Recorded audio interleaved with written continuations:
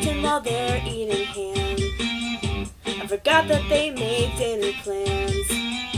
I thought it was mom and her friend, but then I noticed the other person was a guy. Ooh, this is an SOS. My dad's wearing a dress, guess it's a fashion statement. Ooh, he wears it better than me, and now I am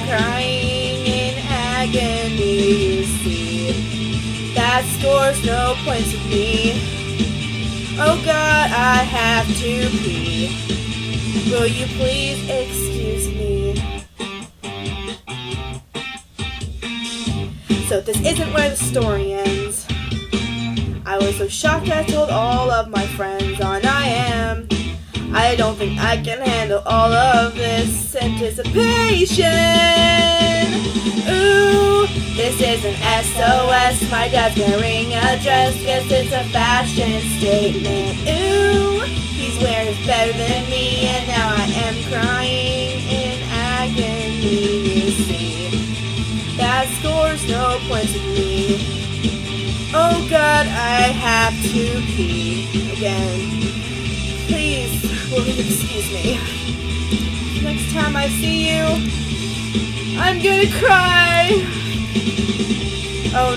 This skirt rides up to his thighs. Ooh, this is SOS. My dad's wearing a dress, guess it's a fashion statement. Oh, he wears it better than me, and now I am crying in agony. See, this is an SOS. My dad's wearing a dress, guess it's a fashion statement. Ooh, he wears it better than me, and now am crying in agony. You see, that scores no points with me.